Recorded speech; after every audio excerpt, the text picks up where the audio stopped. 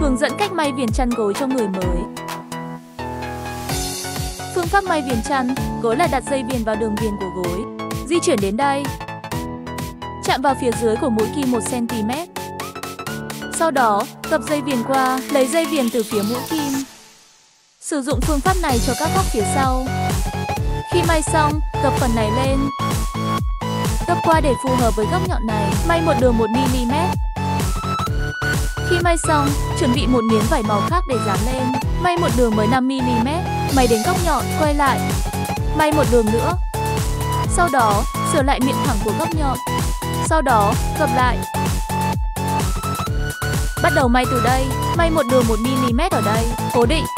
Phương pháp này có thể được sử dụng cho cả việc may viền gối lẫn chăn. Kết quả rất đẹp. Bạn đã học được chưa?